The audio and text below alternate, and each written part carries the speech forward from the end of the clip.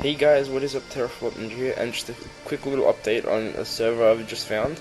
It's called Coolcraft, and I've had a lot of fun playing on it.